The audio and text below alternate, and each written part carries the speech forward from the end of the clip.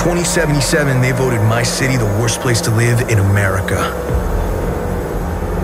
Main issues sky high rate of violence, and more people living below the poverty line than anywhere else.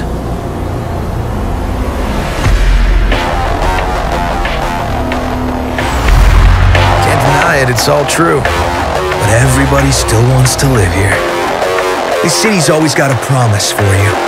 Might be a lie, an illusion, it's there, just around the corner, and it keeps you going.